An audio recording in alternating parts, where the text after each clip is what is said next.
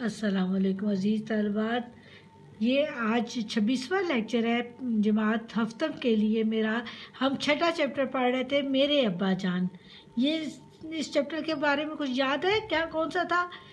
अलामा इकबाल के बेटे जावेद इकबाल ने ये मजमून लिखा है। यानी उन्होंने एक किताब लिखी है, जिसमें उन्होंने अपने वालिद के बारे में अपने ख्याल का इजहार किया है। कि वो कैसे थे? उनका, उनके साथ रवैया कैसा था? तो वो चीज़ें, वो, उस किताब में से इकतबास जो है शामिल किया गया है हमारे बुक में मेरे अब्बा जान के नाम से, ठीक है? अब हम उसका क्वेश्चन नंबर तीन है। आपने डॉक्टर जावेद इकबाल की तहरीर पढ़ी, इसकी रोशनी में चार सतूर पर मबनी अपनी राय तहरीर कीजिए। बानवान, मेरी नज़र में अलामा इकबाल बतौर वालिद अलामा इकबाल कैसे वालिद थे? ये बात हमने लिखनी है, ठीक है?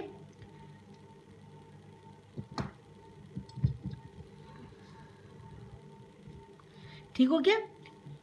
मेरे जहन में ये बात आ रही है कि ये आप लोग भी सोचें, लेकिन मैं फिर भी कुछ ना कुछ लाइनें तो लिखवा देती हूँ।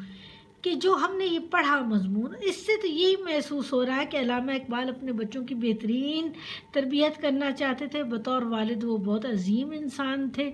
उन्होंने अपने बच्चे के अंदर आजी सारी पैदा करने के लिए उसे कम कीमत की लिबास पहनाते थे ताकि उसके अंदर आजी उनकी सारी पैदा, नीचे सोता था तो खुश होते थे। मरकबी लिबास पसंद नहीं करते थे। पहलवानी के लिए चाहते थे कि पहलवानी करे तकरीर करे उनके दोस्तों में बैठे ताकि उसका इल्म में इजाफ़ा हो बहस मुबासा सुने। ये तमाम वो बातें जिससे ये महसूस होता है कि बतौर वालिद आपने अपनी भरपूर कोशिश की कि तालीमी तरबियत अपने बच्चों की कर सके। मेरी नज़र में अलामा इकबाल रहमत बतौर वालिद भी अजीम इंसान थे। उन्होंने अपने बच्चों की बेहतरीन तरबियत करने की को, कोशिश की। अपने बेटे की तालीम पर भरपूर तवज्जो दी। वो चाहते थे कि जावेद उनके दोस्तों के दरमियान बैठे और इल्मी गुफ्तगु सुने। बैठे होना चाहिए ठीक है? और इल्मी गुफ्तगु सुने। पहलवानी के लिए खड़ा बनवा कर दिया। उर्दू दुरुस्त करने के लिए उनसे अखबार और शेर सुनते थे, ताकि उनकी अदायगी अच्छी हो। इस सारी पैदा करने के लिए कम कीमत अशिया ख़रीद कर देते थे। झूठ और चोरी कर, चोरी को नापसंद करते सिर्फ़ इन्हीं दो बातों पर मारते थे। ये तो बेहतरीन तरबियत थी जो उन्होंने की है। ठीक है बेटा? अब next question question number four मजेल अल्फाज के मुख्तलिफ़ शिकार हैं इनसे और अल्फाज बनाने हैं हमने। ठीक हो गया? जैसे लुत्फ़ है पहला। नए लफ्ज़ हैं तकलीफ़, लतीफ़ा, लुत्फ़ अंदोज़, लतीफ़। तकलीफ़ और लतीफ़ में फ़र्क है, लतीफ़, नरम मुनासिब तकल्लुफ़ तकल्लुफ़, ठीक है ना? तकल्लुफ़ होता है आप ऐसी चीज़ करें जिससे अपने आप को शानदार समझना दूसरों को, उस तकबर की मीनिंग में आता है तकल्लुफ़ करने में भी। हुक, हाकिम, हुक्मरान, हकीम, हकूमत, हिकमत, हिफाजत। ठीक है?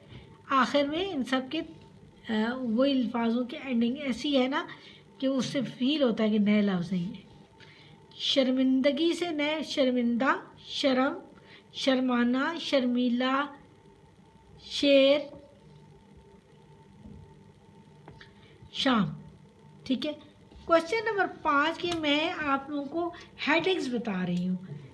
मजमून लिखना है, मेरे अब्बा जान आपके वालिद के बारे में मैं तो नहीं जानती ना।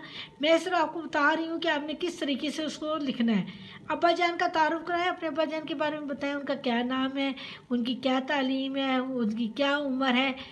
वो क्या काम करते हैं, ये तम छोटे छोटे सवाल जहन में बनाए ना, उनके आंसर लिखते जाएँगे ना तो आपका मजमून का तारफ तैयार हो जाएगा।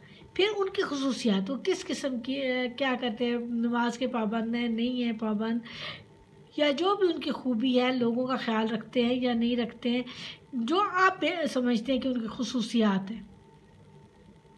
आपके लिए कैसे हैं? और आखिर में अपने वाले साहब के लिए दुआ लिखनी है। उनकी खूबियाँ लिखनी है इसमें? पहले क्वेश्चन में आपने उनका तारुफ कराना उनके बारे में बताना है कि कितनी तालीम है क्या करते हैं क्या उम्र है कैसे दिखाई देते हैं आ, क्या काम करते हैं ये तमाम चीज़ें तारफ़ में आ जाती हैं ठीक है? फिर उनकी खूबियाँ बयान करनी है आपने। खूबियाँ जो आपको नज़र आती हैं फिर वो उनका आपके साथ ताल्लुक़ कैसा है? आपके साथ कैसे रखते हैं किस तरह से आपका ख्याल करते हैं नहीं करते हैं ये सब बताना है। और आखिर अपने वालिद के लिए दुआ लिखें। यकीन वालदेन से हर कोई मोहब्बत करता है। तो आपका इस मजमून से मुझे पता चलेगा कि आप अपने वालदे से कितना प्यार करते हैं और ख़ास तौर वाले साहब से। ठीक है? अल्लाह हाफ़ बेटा।